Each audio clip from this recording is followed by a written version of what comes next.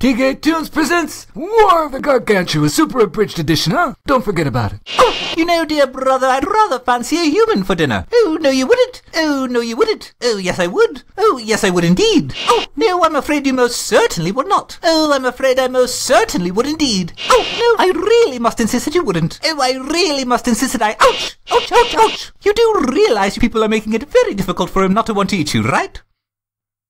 Oh!